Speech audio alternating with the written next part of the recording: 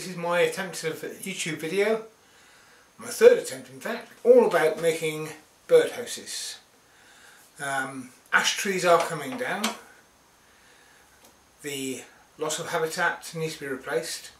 The sensible thing is to use those ash trees to make nesting boxes that you can put up in whatever trees are left.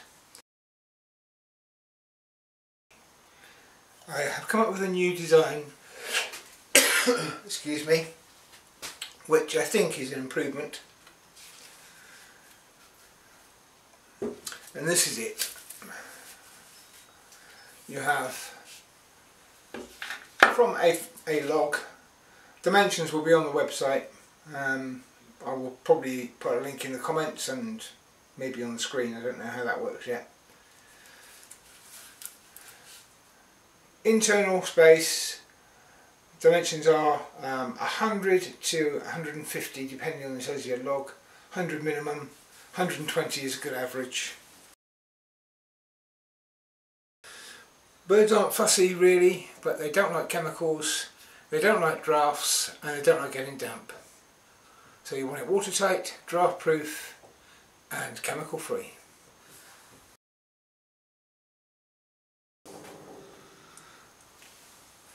Because I'm behaving myself on these lockdown restrictions I don't have nice straight pieces of ash the right size. I have whatever I can find.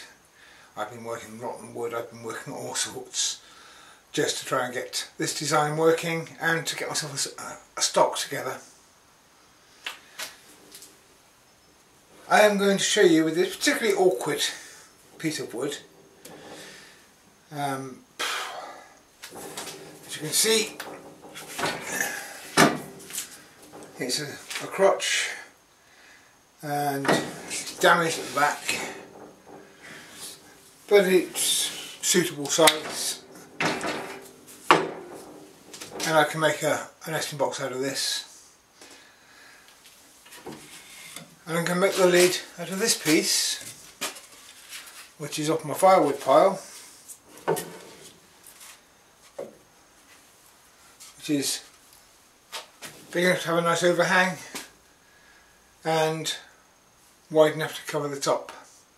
Ideally you'll have a straight piece of ash or two straight pieces of ash.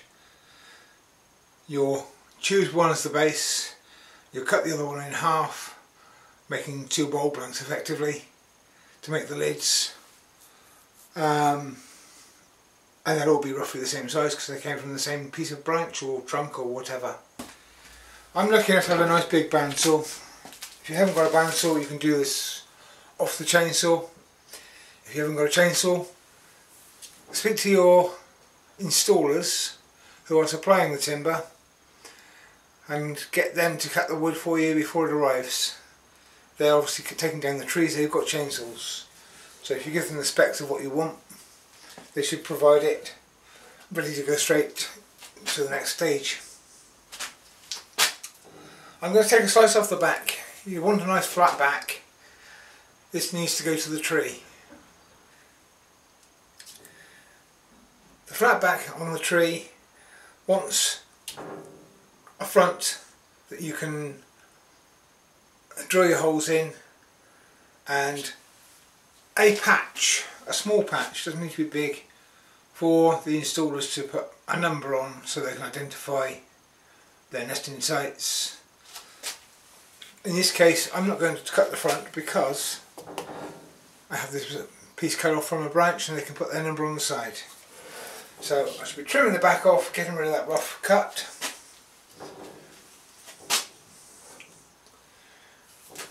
Turn my extractor on.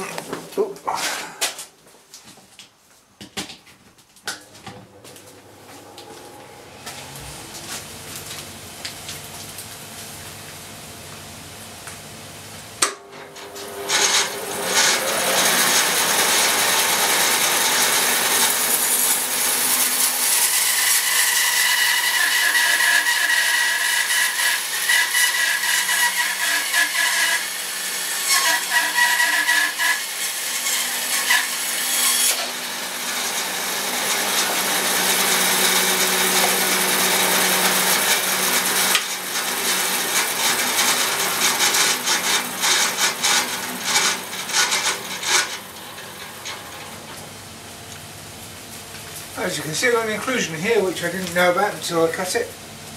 We'll figure that out as we go. Top and bottom on this piece happen to be quite parallel. It's about the right size, so I'll work with it as it is.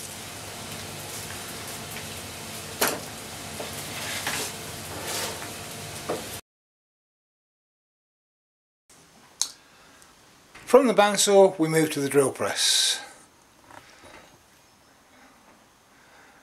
This log pretty much fills up my drill press. The table is at its lowest possible setting. I've got a bench height one. You could do this with a hand drill of course. Birds require different sized holes but roughly the same size nest box. So we're going to, to drill steps this will allow the installers to use those steps as a guide when they're in the field to put the correct size for the birds they want to attract which is 45mm for starlings and birds of that size 35mm for house sparrows and similar birds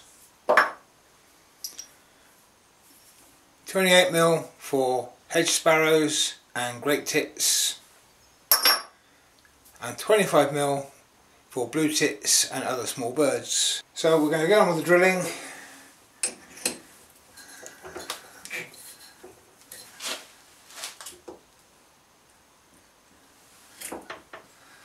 I have to swing my table in because there isn't room to go up and down under it.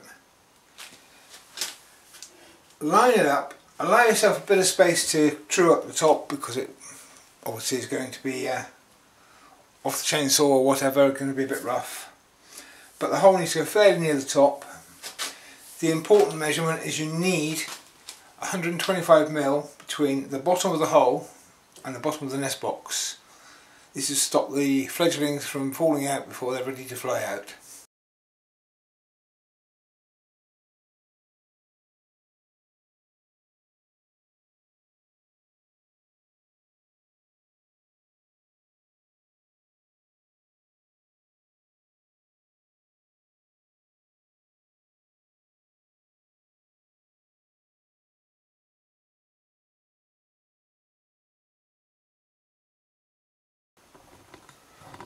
Hopefully you can see from this angle the steps that I've drilled. An odd shaped log, finding the middle isn't necessarily in the middle. The rules are the walls need to be a minimum of 20 mil, 30 mil even better. I happen to have one of these Axminster centre finding rulers which is Quite handy for this, it's not designed for this but it works quite well.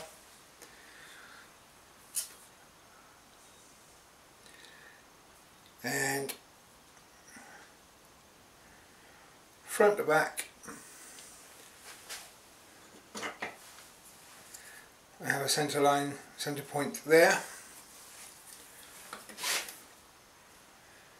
Side to side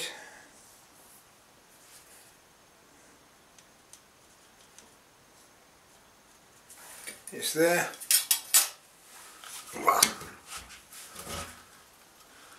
This is going to be the top and that's my centre to find the centre of an odd shaped bottom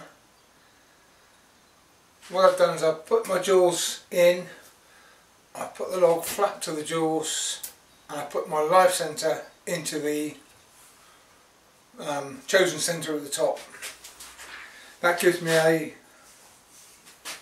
place where I can mark. I'm using this blue crayon pencil hopefully so that it will show up on camera. I don't know if it will or not.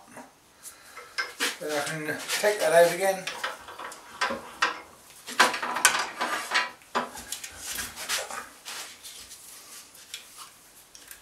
And if it does show on camera you'll see that I've now got a circle where that fits nice and flat to the face of the chuck. Find the centre of that circle and away we go.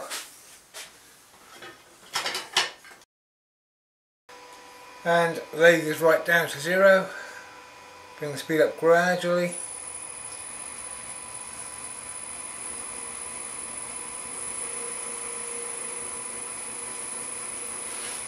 Three hundred and fifty I think is fast enough for that weight suspended between two points.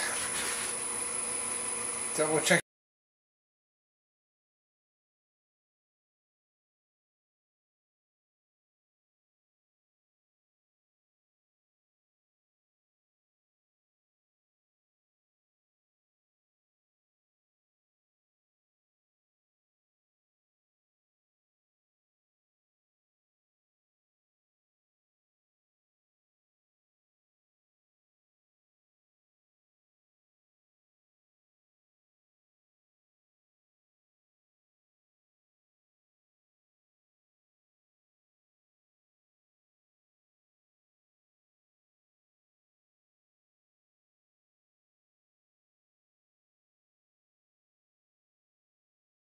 That's going to give me a nice secure tenon.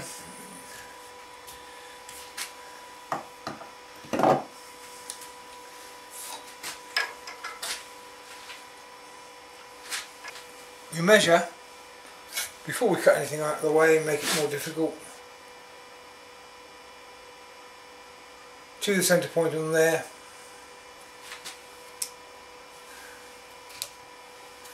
From what's going to be the back mark.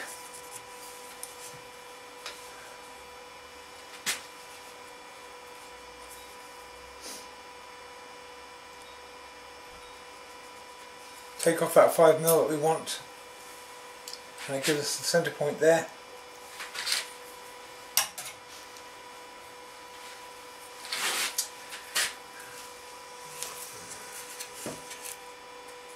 In the other direction on this one it is the centre so I'm going to use my centre finding ruler again. I need to cut a mortise on here. And it's not always going to be necessary, but if I want to only work on the top later, I'm going to want a chuck point on here as well. I've already measured my other end and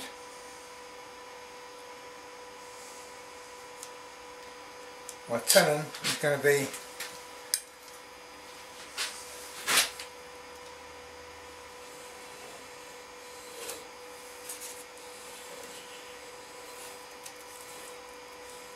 there.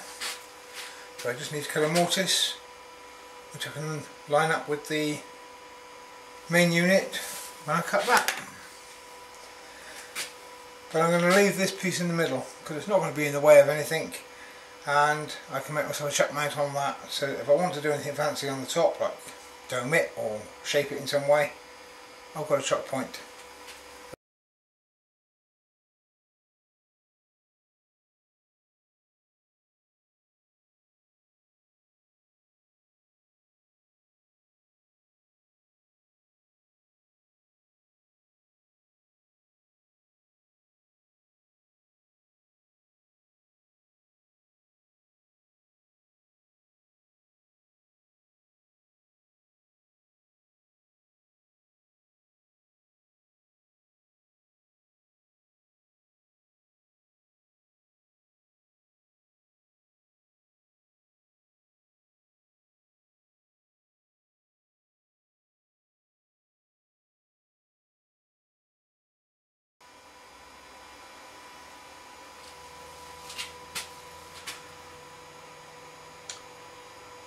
We're in the chuck. It's a big old piece of wood. It's not balanced. Never will be balanced this piece. It's not the plan. So speed, be careful.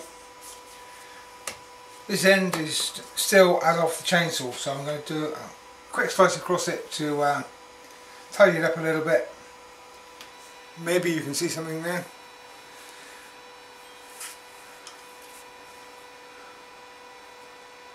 When I realised you couldn't see what was going on and um, move things around I was just at the point of tidying up the chainsaw marks on the top of this log. Not going to take much off, I just need it a bit tidier. A lot of the time I'm cutting air so I'll probably cut the sand off and uh, a sand nicer I'm also running fairly slow because of the weight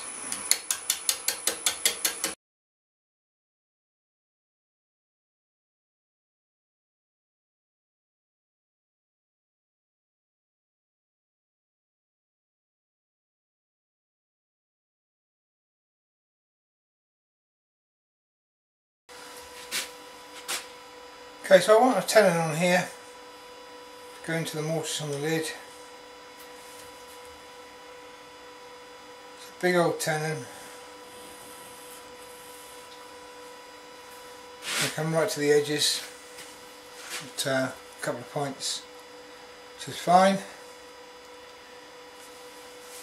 Doesn't need to be particularly deep. It's just a locating point.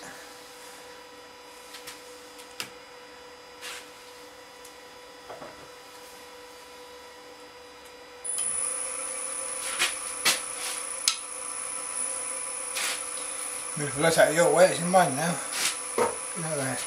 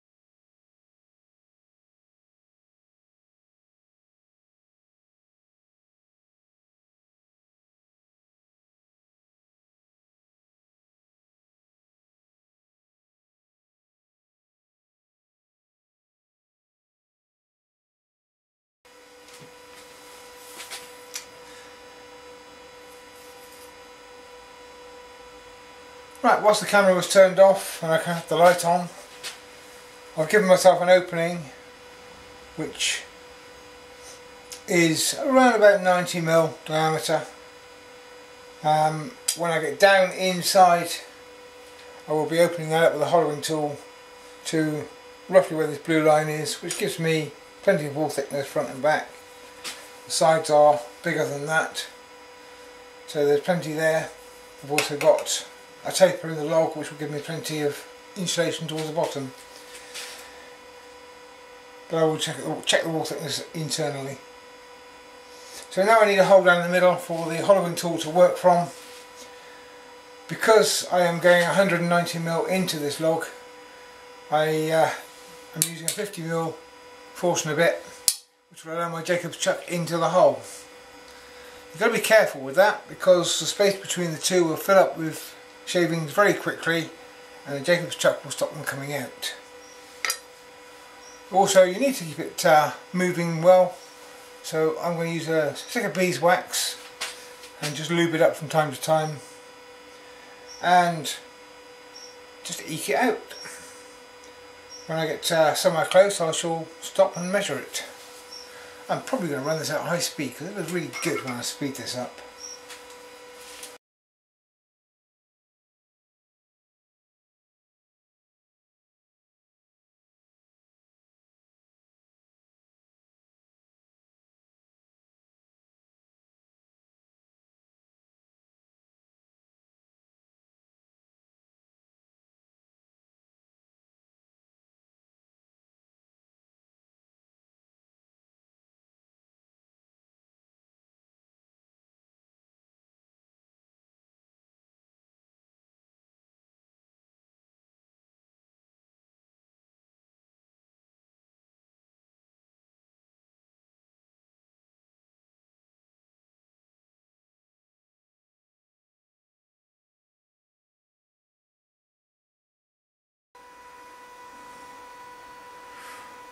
Anyone interested, the lathe I'm using is the Axminster 1628 or 403 I think it's called these days. Little tip if you do get one, they are quite short. So I've made myself this little unit on the end. It's got some drawers for my chucks and Morse taper bits etc. And a couple of rails on it which means that my headstock can drop off the lathe and sit down there out of my way give me some elbow space. Even so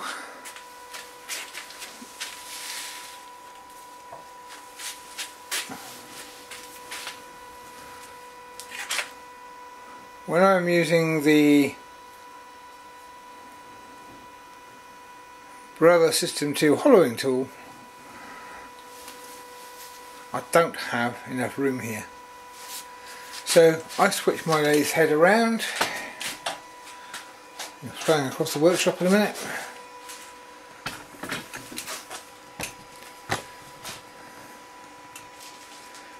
I spin it around and I work from the other end that's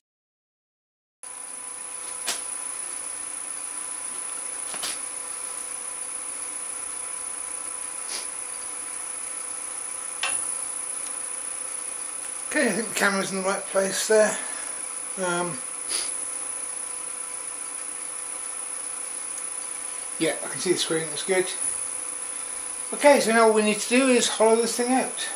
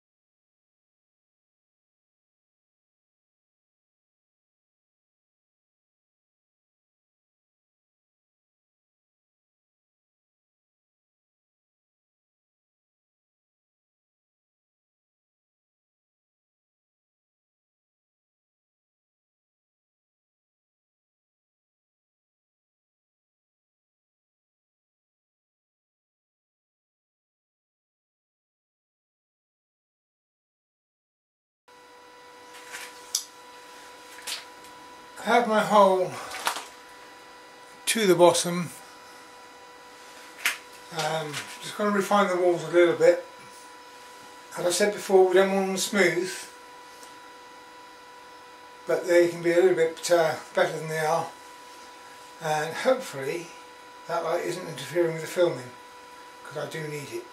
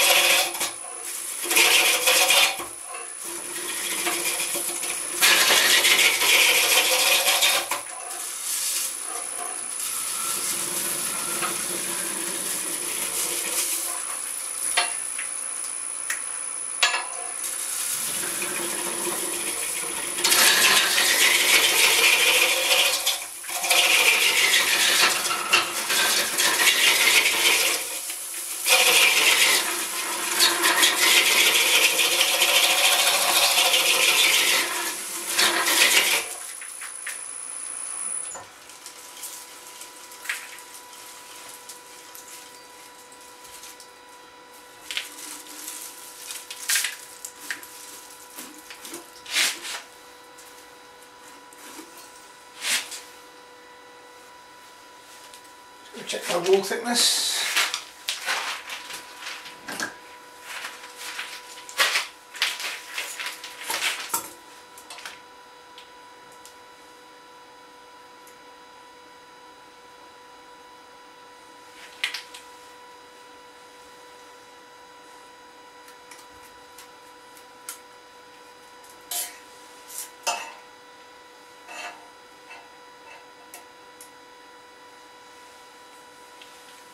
the lens. It's about perfect.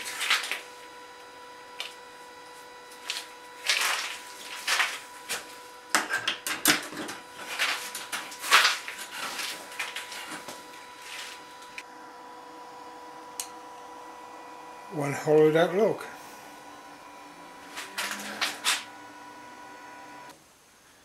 Okay, so I have my birdhouse, got my drainage holes, I'm going to fill that with shavings because then they can get rid of them but also because it's damp and it'll help it dry slower. That's my theory. It takes, it takes about 45 minutes start to finish if I'm not filming. It takes about six weeks if I'm filming. Well, no, it's not quite true, but this is my third attempt at filming. Um, hopefully I haven't run flat on batteries at any crucial points this time. Hopefully I've actually got an entire film that I can edit together. So, hope you enjoyed it.